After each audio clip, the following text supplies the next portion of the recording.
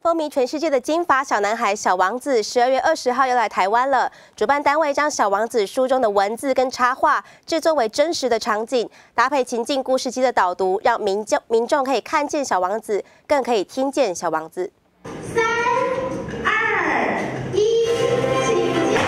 法国名著《小王子》全球已经翻译为两百五十七种语言，是世界上最畅销书籍之一。现在书中的文字和插画。要转成真实场景，由联合报系主办的小王子特展，十二月二十日将在台湾现身。风靡全球的小王子，在每个人的眼中有不一样的价值与意义。念故事给小孩听，对，就是床边。觉得小王子是我的心灵导师了。很难想象一本小王子可以影响一个人将近四十年的时间。呃，我为了这本书。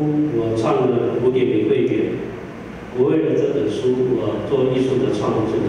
呃，基本上，呃，这个他跟我是这一辈子里面最重要的一个朋友。